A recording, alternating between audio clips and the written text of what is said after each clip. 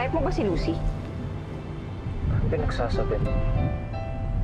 Eh, hindi ka man lang nagreklamo nang hinawakan ka niya eh. Eh, di ba ayaw mo nga magpahawak? Sa akin nga, may one meter rule ka pa eh. Pero nung niyaya ka mag-coffee, oo agad. Gusto mo ba siya? Sabihin mo na. Ewan ko sa'yo.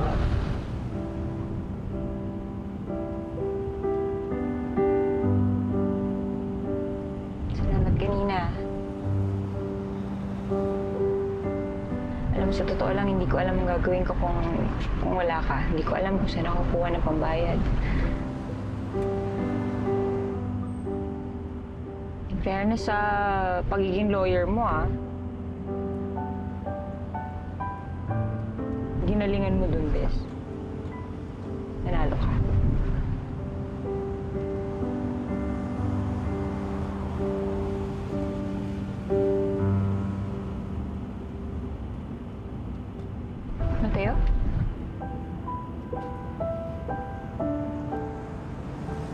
Uy.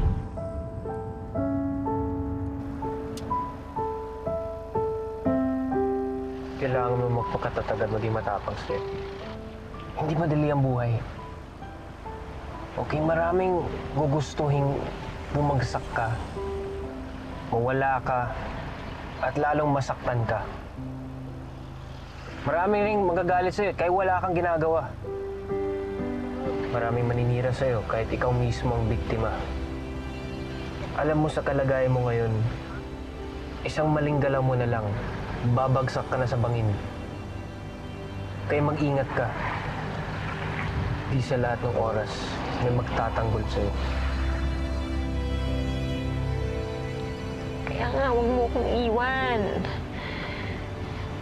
Ikaw lang yung kakampi ko eh. Hindi mo ako kakampi.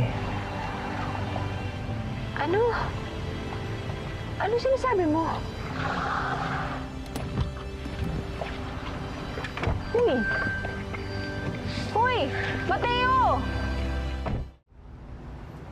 Hindi ko na po alam kung ano nangyayari sa akin. Kasi sabi niyo parang dependent lang ako, 'di ba, sa kanya. Pero recently kasi parang hinahanap ko siya. Medyo OA. Oo, OA siya. Pero hindi ko alam. Hindi ko talaga alam kung ano nangyayari. Ano ba to, Doc? Dependent lang ba ako sa kanya? O talagang gusto ko na siya? Ano yun, Doc? Pwede naman. Pero baka nalilito ka sa pagkadepende sa kanya or pagkagusto sa kanya.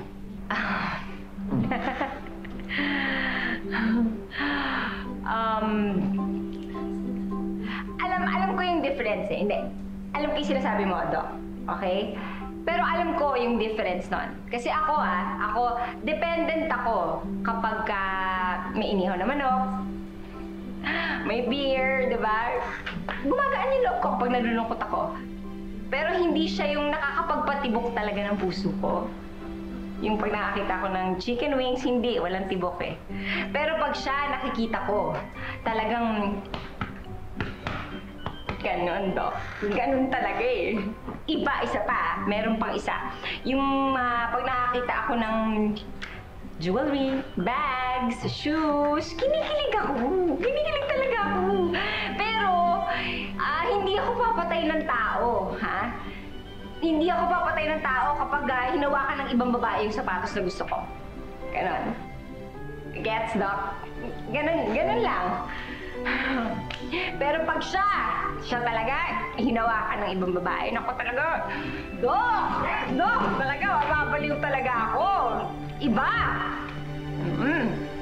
Hindi ko na kaya, Doc, na wala siya eh. Yung gusto ko lang, palagi siya nandyan. Nakikita ko siya. Gusto, gusto ko yun eh. Hinahanap-hanap ko talaga siya. Puputulin ko yung kamay ng babae. Pag, pag nakita ko yung babae niya, putol. Putol talaga. Talagang, Dok!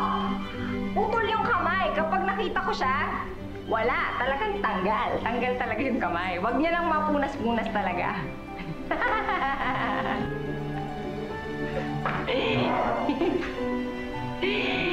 sorry, sorry, Dok. Sorry. Pero, talaga, Dok, putulin ko talaga.